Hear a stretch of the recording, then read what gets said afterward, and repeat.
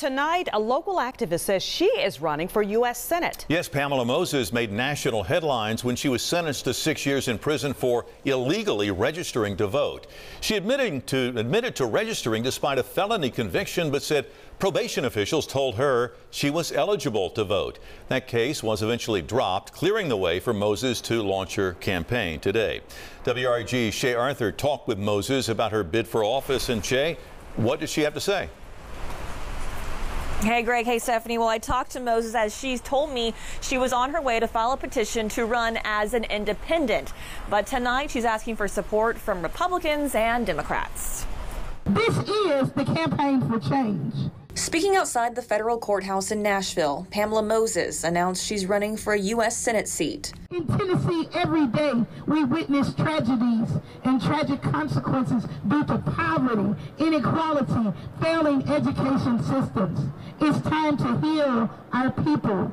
Some of her platforms include healthcare reform, supporting veterans affairs, mental health support, and criminal justice reform. Beyond making international headlines following her voting case, she is an activist in the Memphis community and founded the Memphis chapter of Black Lives Matter.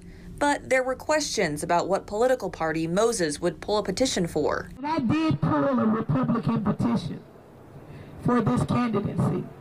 I was a Democrat for 30 years. But in the interest of the culture shift in which you see here, real people, I have conservative values, but I'm progressive enough to submit my independent petition because I believe that independence is what this country needs. We need people more focused on the issues and the causes and not the parties.